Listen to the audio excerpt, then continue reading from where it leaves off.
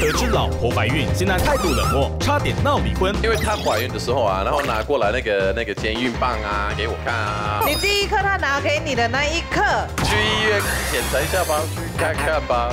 你第一句还接是这样，差不多。其实我也不连医师看诊完出来都拍拍你老婆的肩膀，要坚强。没有这样。